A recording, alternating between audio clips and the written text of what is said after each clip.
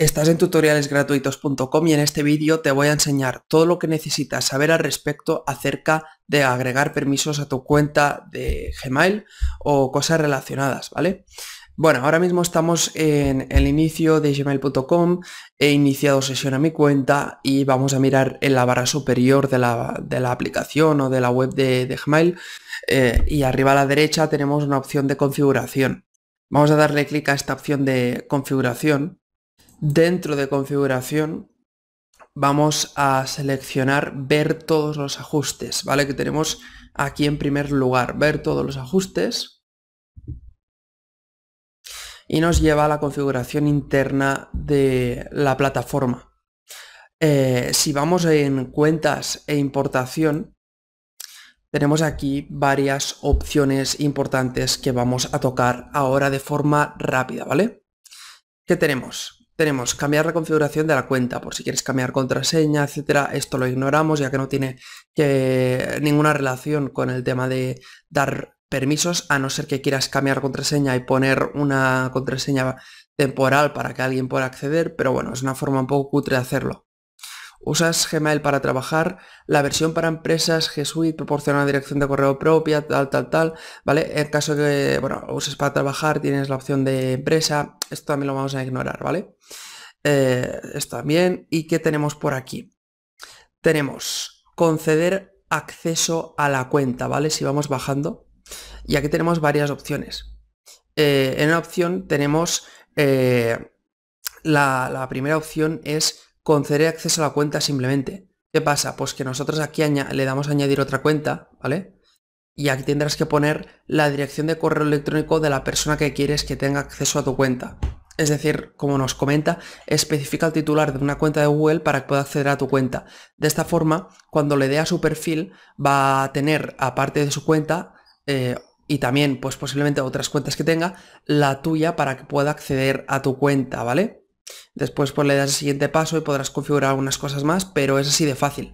Podrás, por ejemplo, vamos a hacerlo para que veas el ejemplo. Foro multisport.gmail.com Siguiente paso.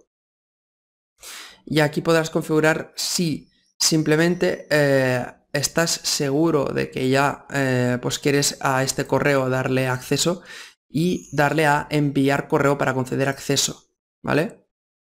Ahora se enviará una solicitud de confirmación de acceso a este correo eh, y cuando la acepte pues tendrá acceso a tu correo. ¿Vale? Eh, recuerda que esta solicitud será válida, como dice aquí, durante 7 días. Si pasa más de 7 días, esta solicitud dejará de ser válida y aunque lo acepte no podrá acceder.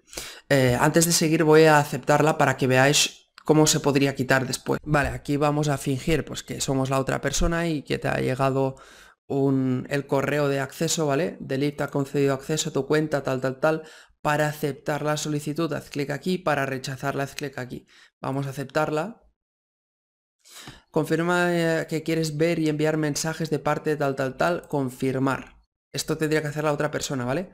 Y entonces, como nos dicen, cuando termine la verificación, 30 minutos, podrás ver y enviar mensajes de parte de, eh, de que es con la cuenta que le hemos dado permisos.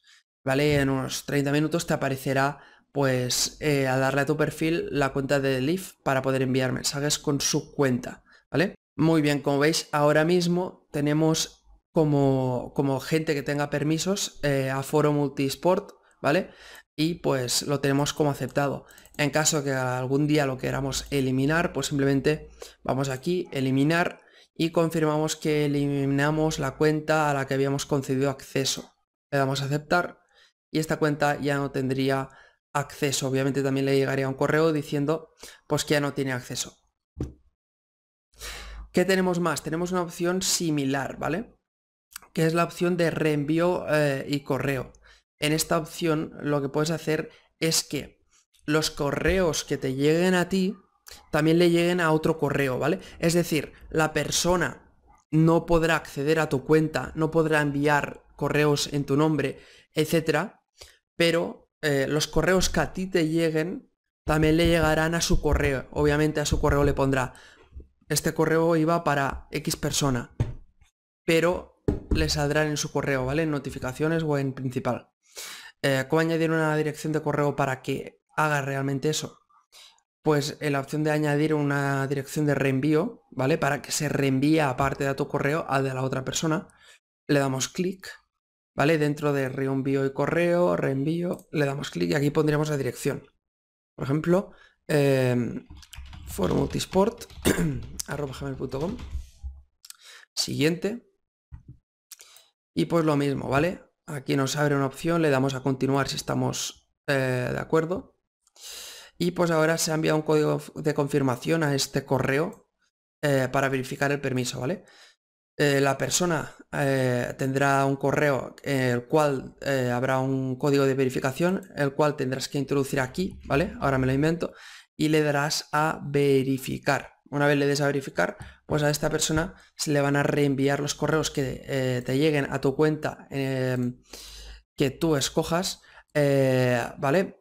A su correo puedes seleccionar que pues, le envíe simplemente una copia de todos los correos, em, que pues elimine la copia y, solo, y le lleguen solo a él, eh, archivarlo, etcétera. Tienes un montón de opciones. También puedes simplemente inhabilitar si en algún momento quieres dejar de eh, funcionar con esto y listo. Y como habíamos enseñado antes, también podrás en un momento, si verificas esa cuenta, eliminarla y ya está, ¿vale? Vale, recuerda que tendrás aquí la opción de de, bueno, a las cuentas donde estás ahora mismo reenviando, ahora mismo lo estoy enviando en esa cuenta y ahora también lo enviaría en esta. Si quieres eliminar una de las dos o las dos, pues tienes la opción de seleccionarla, ¿vale? Por ejemplo, voy a eliminar el reenvío a la cuenta, confirmar eliminación de la, de la dirección de reenvío activa, tal, tal, tal, está seguro, aceptar y listo, ¿vale? Em, entonces, si tú quieres coger y eliminar directamente todas, tienes la opción de inhabilitar, que ahora ya ha desaparecido, porque ahora la única que tenía activa era, era la otra, por eso se han replegado las opciones. Pero si le das a inhabilitar directamente, llegaría, es decir, dejaría de llegar ese reenvío de correo a todos los correos que tengas añadidos.